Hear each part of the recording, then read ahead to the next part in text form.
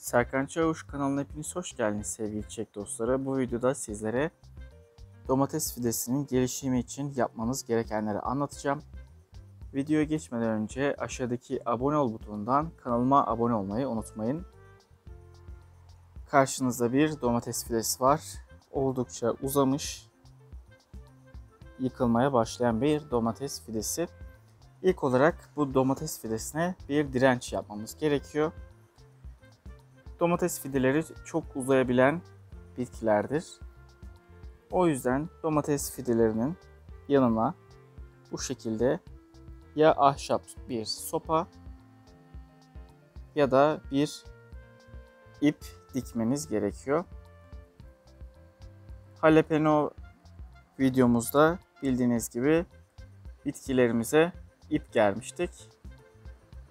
Domates fidemizde de bu şekilde tahta çubuk sapladık. Biraz sağlamlaştıralım. Evet. Bu şekilde. Ve domates fidemizde gördüğünüz gibi etrafından geçirdik. Çok sağlam oldu bu şekilde. Eğer bu işlemi yapmazsak domates fidemiz bir zaman sonra biraz daha uzadıktan sonra şu kök kısmından kırılacak ve düşecektir, solacaktır. Üzerinde de gördüğünüz gibi bir tane domatesimiz var. Henüz daha turuncu, tam kırmızı olmamış. Olgunlaşmasını bekleyeceğiz. Gelişimi için de ikinci bir yöntem var. O da bu alt yapraklarını almak. Bu şekilde pıt diye kopartabilirsiniz.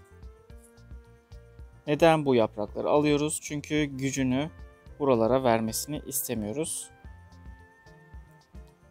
Ve gördüğünüz gibi zaten biraz yaprakları sararmış. Fazla uzamayan küçük yapraklarını alabilirsiniz. Uzayanlar durabilir. Şurada da var. Gördüğünüz gibi aldık. Bu şekilde daha hızlı gelişecektir ve daha fazla sebze verecektir. Bir tur daha bu şekilde dolandıralım. Ve bu domates fidesi masa bahçenin üzerinde geçecek.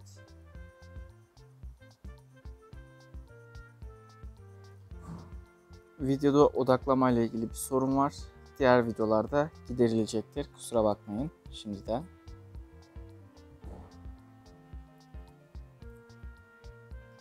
Bu şekilde birkaç dalına aldık. Üst dalları kalması gerekiyor.